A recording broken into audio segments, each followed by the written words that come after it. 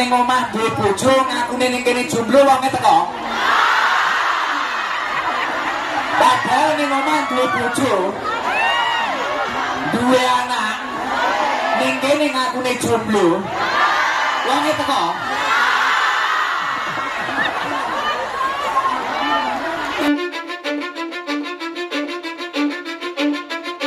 I don't give a fuck what you say Yeah, I'ma do shit my way Tiga perkara yang harus dikumpulkan. Yang pertama adalah syukur. Gimana dalam keadaan apa pun kita itu harus bisa mensyukuri nikmat ini. Bagus, gimana mau syukur? Syukur niku pripun? Kula niku wis bayari cacah mangan Mari bayaran kula wis seneng-seneng. Mari bayaran saya sudah makan-makan bareng-bareng Saya sudah transfer ke rumah. Loh, syukur itu tidak hanya itu syukur yang dikatakan syukur itu adalah sorfun ni'am li taatillah. Ketika panjenengan memiliki nikmat, nikmat kesehatan, nikmat badan sehat, sorfun ni'am li taatillah, menyalurkan nikmat untuk menuju ketaatan kepada Allah. Gimana panjenengan ini memiliki nikmat? Oh, dulu sebelum ke Taiwan saya ini bisa baca Al-Qur'an. Gimana terus istiqomah membaca Al-Qur'an? Dulu saya ini orang pesantren. Gimana istiqomah saya harus ngaji. Dulu saya ini dari keluarga baik-baik saja. Di mana kita itu bisa menjaga kebaikan diri kita. Kita itu sebenarnya orang yang tidak aneh-aneh. Di mana kita itu menjadi diri yang memang biasa-biasa saja Tidak aneh-aneh. Nah itu Orang yang syukur seperti itu. Memiliki badan yang sehat Digunakan untuk beribadah kepada Allah memiliki tubuh yang sehat digunakan untuk ibadah kepada Allah. Lah ini namanya syukur. Jadi syukur itu tidak harus kok makan-makan, foya-foya, tidak seperti itu syukur. Tapi syukur itu di mana orang Iran itu bisa melakukan kebaikan di balik kenikmatan yang ia miliki. Itu namanya syukur. Dan ketika seseorang itu mampu bersyukur, Dijauhkan Ibnu Athaillah asakan dari man lam yaskuri ni'am faqad ta'arada li zawaliha. Wa man syakaroha faqad qayyada Barang siapa yang tidak mau bersyukur walaupun gajiannya satu bulan itu 40 juta atau 50 juta tapi kok gak pernah syukur gak pernah melakukan kebaikan di jalan Allah siap-siap saja nikmat itu akan lepas dari hidup panjenengan waman sakaroha Barang siapa yang mampu bersyukur Berarti dia itu telah mengikat nikmat tersebut. Artinya apa? Walaupun gajinya itu enggak sebanyak teman-temannya. Mungkin 10 juta, mungkin 7 juta. Tapi insya Allah barokah. Ketika dibawa pulang Ini juga barokai Buat nyekolahkan anak juga barokai Buat merencanakan hidup dengan dia Ini juga barokai tapi jenengan gak tahu syukur. Neng Taiwan kok transfer transferi. Pirang-pirang tahun pada kok kirimi duwe eh dilalah sampean mulai judune karo wong liya. Lah. Akhirnya statusnya rungkat. Mulano segala sesuatu yang kamu inginkan biar benar-benar diijabahi oleh Allah kuncinya yang satu syukur. Apa makna syukur? Memiliki nikmat dan nikmat itu kita salurkan untuk menuju kepada Allah. Punya rezeki tidak lupa sodako. Punya badan sehat tidak lupa ibadah. Punya kesempatan ibadah tidak lupa melakukan ibadah ibadah. Punya kesempatan berkumpul dengan orang soleh berkumpul dengan orang soleh. Seperti halnya saat ini. Itu poin yang pertama yang harus kita kumpulkan ketika kita ingin mencapai kebahagiaan yang nomor dua apa? Wabtalana wa aujaba alaina asobru tujahul balwa. Ketika Allah subhanahu wa ta'ala memberikan ujian di dalam hidup panjenengan, kita wajib untuk bersabar. Gus sabar itu berat Gus. Kadang kita di Taiwan tiba-tiba dikabari ada orang tua yang meninggal, ada keluarga yang meninggal, kadang terasa berat Gus. Kadang tiba-tiba kita dilanda sakit. Kadang kita itu diuji oleh juragan yang keras. Kadang kita itu diuji ada orang yang memanfaatkan kita. Loh poin yang kedua yang harus kita kumpulkan ketika kita memang benar-benar ingin mendapat kebahagiaan kalau menurut kitab Kuto, uh, Kutobul Mimbar As-Sa'adah itu adalah sabar sabar ketika Allah Subhanahu wa taala memberikan ujian. Loh, orang yang dengan Allah diberi ujian, katakanlah ketika sibuk-sibuknya di Taiwan ada berita apa di rumah. Ketika repot-repotnya di Taiwan ada ujian-ujian yang tidak kita inginkan. Itu gimana solusinya?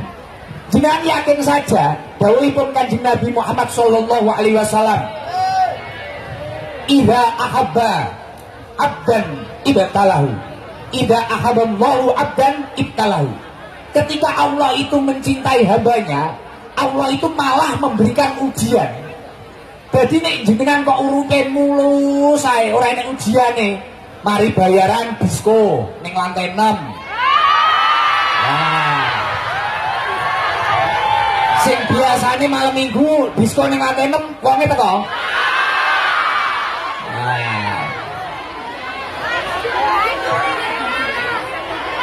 Sing saiki kudunan tapi rambutnya gramasonan wonge teko. Wah. Ngacung kabeh. Iki jan garangan garangan wati wonge teko kabeh iki. Ya. Niki lak kei solusi. Jenengan nek dikei ujian, iki ra apa-apa ya ora bedino rada panas gak apa-apa ya. Kula niki asline ora patek sehat, tapi semerep jenengan tak sehat-sehatnya iki. Ora peduli bene, nggih to? Heeh. Sesuk embe nek jadwale ning Indonesia ketarane awak ra kuat ya wis sing dibatalin ning Indonesia. Ora apa-apa ya Allah, luar biasa. Ah, wa aini ya ya ya wa aini. Apa ya? Sesek. Ai dhewe PMI aku ya. Aduh, ya. Ya, semisal jenengan kok itu ujian, Bu. Biasanya tahu mboten kan? Itu ujian mboten. Ya Allah, Gus, kula niku ya Allah kaya terenyuh. Padahal saya datang ke sini itu sudah ujian. Tiba-tiba suami di rumah niki malah aneh-aneh. Malah selingkuh. Malah piye? Ponto. Tenang mawon, mboten usah khawatir. Ida ahabballahu abdan ibtalahu. Ketika Allah itu mencintai hambanya, Allah malah mendatangkan ujian terhadap hambanya. Berarti nek jenengan diuji karo Gusti Allah, iki berarti jenengan niku ditresnani Gusti Allah. Lha iku iku dawe Kanjeng Nabi. Fa in sabara istabahu. Lah apabila panjenengan itu ketika mendapatkan ujian kok mampu bersabar kepada Allah, ijtabahu. Maka Allah akan menjadikan panjenengan itu orang yang mulia. Semisa enek info ning omah, iki infone ora beres. Jenengan pun to ten mriki kerja ae, jenengan dadi wong sabar, insya Allah ijtabahu. Allah akan mengangkat derajat panjenengan dadi wong mul, wong mulya. Wa in radiya istofahu. Dan ketika panjenengan ridho dengan takdir Allah, ya Allah saya itu ditakdir kerja di Taiwan, jauh dari keluarga. Saya oke, okay, baik-baik saja. Ini akan saya terima. Ya Allah, saya itu ingin kerjanya ART. Tapi dilalah takdirnya kok ngopeni wong tuwek. Saya ridho di situ. Oke, ini memang takdir dari Allah. Ketika panjenengan mampu ridho, istobahu. Maka Allah subhanahu wa ta'ala akan memilih panjenengan menjadi orang yang istimewa. Jenengan akan menjadi kekasih Allah. Bekengane Bekengane pusat. Makanya kalau mendapatkan ujian dari Allah, kuncinya satu. Positive thinking. Ketika Allah menguji kita, berarti Allah cinta terhadap kita. Dan ketika kita mampu bersabar, itu tabahu. Allah akan menurunkan kemuliaan di dalam diri kita. Dan ketika kita mampu ridho, wa in rodiya istofahu, maka Allah akan memilih kita menjadi orang yang istimewa. Siapa tahu berkah keistiqomahan panjenengan dalam kebaikan di Taiwan. Jenengan ini menjadi wali-wali kekasihnya Allah, penyebar agamanya Allah di bumi yang minoritas Islam ini. Bisa jadi, bukan suatu hal yang tidak mungkin. Maka kunci kebahagiaan yang nomor dua adalah sabar akan ujian-ujian Allah. Dan janjinya Allah apa? Di dalam surat An-Nahl ayat 96 wala najziyannalladzi sabaru wala najziyannalladina sabaru ajruhum bi asani makanu ya'malun. Dan kami pasti akan memberi balasan kepada orang-orang yang sabar. Lebih baik daripada apa yang mereka lakukan. Jadi jenengan niki dua masalah, tapi jenengan kok belum sabar. Niki pusat ngedukne keajaiban, ngedukne balasan daripada lebih daripada apa yang panjenengan perjuangkan. Jenengan semisal sabar karena mendapat ujian batin. Jenengan mampu menahan amarah panjenengan. Insya Allah Allah subhanahu wa ta'ala akan menurunkan nikmat yang lebih daripada rasa sabar panjenengan. Mayazro yaksud barang siapa menanam pasti akan memanen. Sopo wonge nandur bakale pa panen. Allahumma sholli ala Muhammad. Dan yang nomor tiga apa? Ketika semua melakukan do, ketika panjenengan niku nglakoni dosa, dilalah. Ning kene iki kok rada khilaf. Sing wonge khilaf teko. Seminggu wis pira khilafe? Iki enek sing bendina barang. Layak raine diskotik. Bisa jenengan niku kok khilaf? Lah, wis iki diselingi ya. Sing nomor telu jenengan gen penasaran apa diselingi solawatane Mas Danu. Yo, maju kene maju, di ketara. Aku tak ngombe sik. Nah. Siap.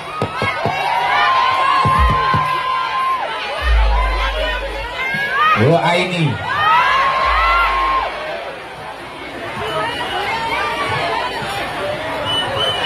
Patia Hawa. Apa wi artine ya lah. Maju ini. Hah? Tachia Homa. Tachia Homa. Aiki kok Mr. Lai. Oh, Jackie Chan. Aku mah bengi simpangan ada Jackie Chan. Wonge ngopi ning perapatan no. Nah. Solawatan sih sama Mas Danu yuk. Allahumma sholli ala Muhammad. Alamat